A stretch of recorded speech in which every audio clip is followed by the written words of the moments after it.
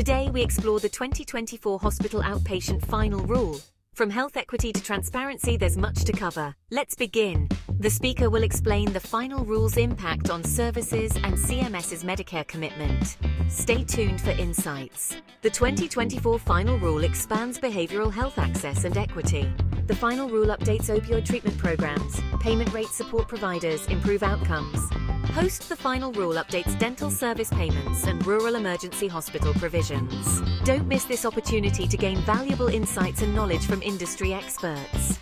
In case of any queries, email us at cs at conferencepanel.com or call us at 800 803 7592.